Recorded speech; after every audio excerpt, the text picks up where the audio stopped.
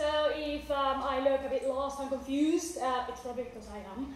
Um, um, and also, I feel a bit of an outsider. And this is because um, I am not an artist. Uh, I'm not a graphic designer. I am not a software engineer that has an interest in graphics. Um, I am, well, I guess I come from the tradition of uh, user-centered, people-centered, human-centered design. Um, Human-computer interaction is kind of my field, and I am halfway through between interaction design and the social sciences. So I'm a bit of a weirdo. Um, so I guess the first thing I need to do is to clarify what I mean by design and what I, what I mean by research in this talk that is titled No Design Without Research. Um, and what I mean by design is mostly, for the purpose of this talk, is mostly interaction design. And interaction design deals with the behavior of any interactive thing in the world of software. It deals mostly with the structure and behavior of software interfaces, which means that when you make decisions about which features your software should have or how those features should behave, you are doing interaction design. And understood in this way, interaction design applies to all software and to all kinds of interfaces, and not just the graphical ones. And uh, what I mean by research um, in this talk is any kind of activity that ends up involving users in the process of making software. So basically, it's about getting your users to be part, to take part in the interaction design process. Um, and the question that I keep on having to, I keep on encountering, and I have, I keep on having all these conversations about, is can interaction design exist without doing research, without involving users in the process of making the software? Um, I'm doing a PhD at the moment, and uh, when I hang out in the university, um, I am surrounded by a lot of people who believe that you should not be doing design without doing research.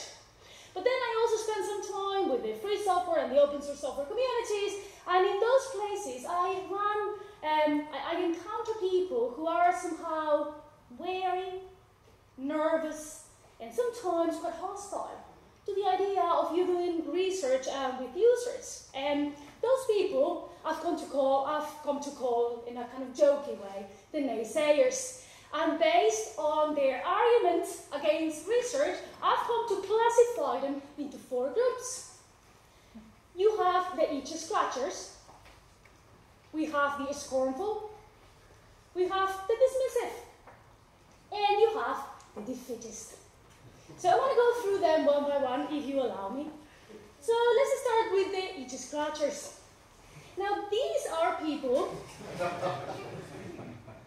these are people who believe that uh, they are building software that is uh, exclusively tackling a problem that is their own, solely their own. And their argument goes, well, since this is my problem, and only my problem, the only people I need to do research with is myself. Other people can use the software, but in the understanding that the software is about solving my own problem, and it might not be ideal for their problem.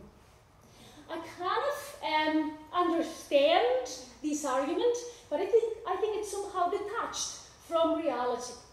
Because this is the thing.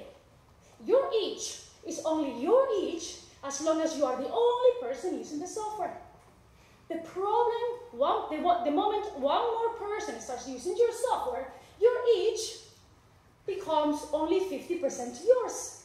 And it's also 50% the itch of the other person using the software. When a third, a second user comes along, your age is now 33% yours. When a third user comes along, the age is 25% yours. Did you see where I'm going with this? By the time you reach 50 users, your itch is 2% yours. So sure, you, these people can keep on telling themselves, no, this is my itch. But that doesn't change the fact that it really is not anymore. And the thing is that the only way of keeping your itch your own is keeping the source code to yourself.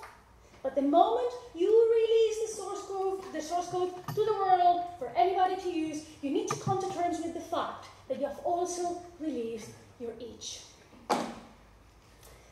So that's the itch scratchers. The second type is the scornful.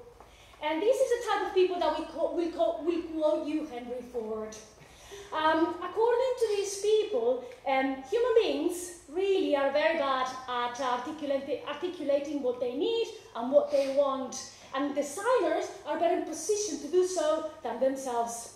These people seem to believe designers have some kind of superpower, that designers are somehow a more evolved type of human being that has overcome this inherently human limitation of articulating what it is what that we want and that we need.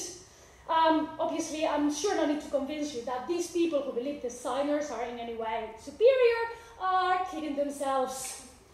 The only superpower designers have is the recognition that we human beings are really bad at articulating our wants and needs, and that there are some things in the design process that can help us overcome those limitations through all sort of work. Things like iterative prototyping and also design research. The third type are the dismissive.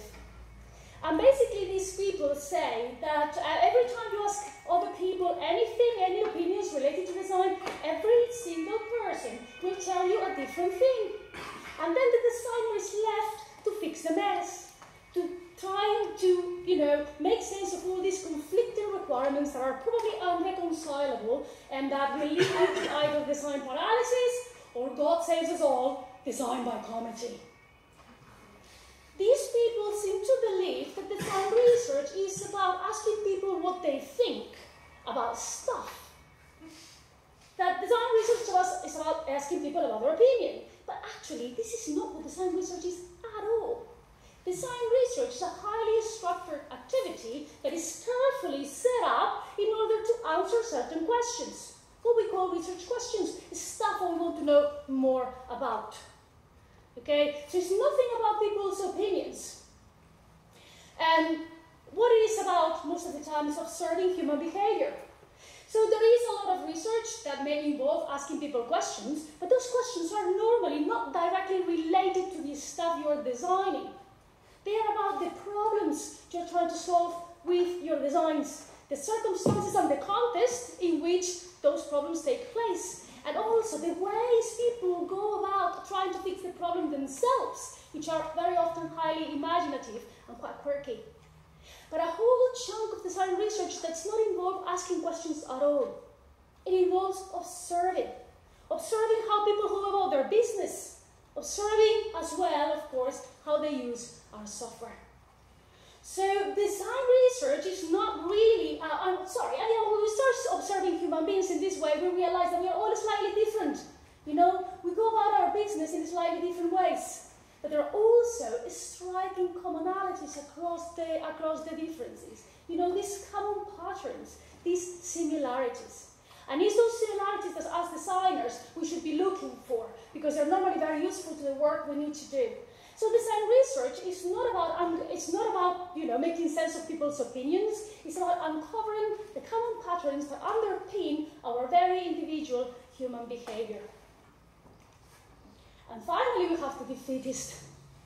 And this is the people who think that design research, user research, it just takes too much out of, out of you. You know, it takes too much time, too much money, too much effort, and because of that, it is not suitable to free software projects.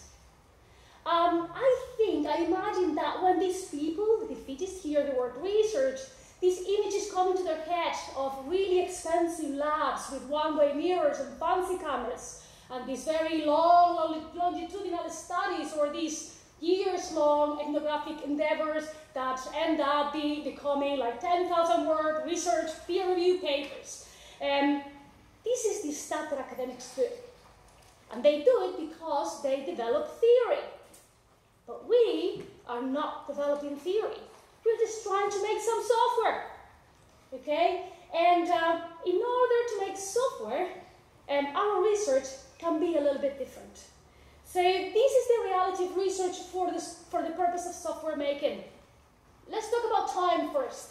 How much, how long does it take to do this type of research? Well, apparently, if you want to do anything that involves talking to people, inspired by interview approaches, six interviews is enough. If you're doing anything that involves getting your users to interact with any artifact, five sessions is enough. These sessions should never be longer than 45 minutes, which means that you can run an interview study in four and a half hours and a usability type of study in three hours and 45 minutes.